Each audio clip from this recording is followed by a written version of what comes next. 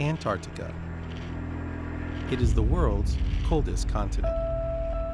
Scattered among the ice in this harsh and unforgiving environment are numerous research stations.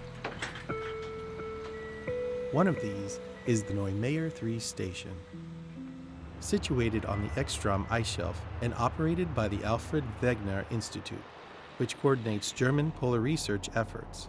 Nearby Neumayer 3 is a small greenhouse, the German Aerospace Center's Eden ISS, which is working on developing innovations for cultivating food using closed loop systems.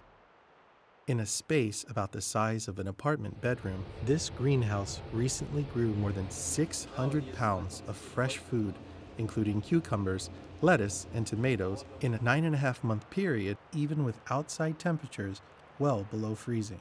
The researchers took scientific samples from their crops, but they ate the vast majority of what they grew in a powerful demonstration of the benefits of closed loop agriculture. This research not only benefits indoor agriculture here on Earth, it also has applications for space exploration.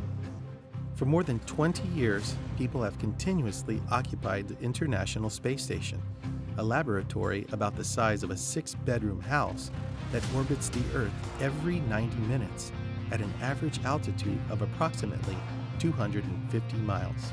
Astronauts working with researchers on the ground have used the space station as a proving ground for the technologies and know how that will allow people to explore more of the moon than ever before and take the next step in space exploration a crewed mission to Mars.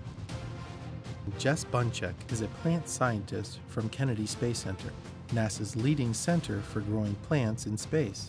The agency is sending her to work with the German Aerospace Center on research that could one day help feed crews on long duration missions to the Moon and Mars.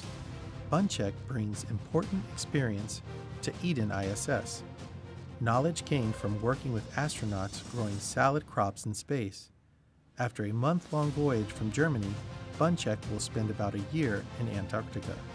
There, she will work with a team of researchers connected to the Mission Control Center in Bremen, Germany, to solve challenges with closed loop agriculture so that it can be robust and productive enough to help sustain astronauts on a two to three year long mission to Mars.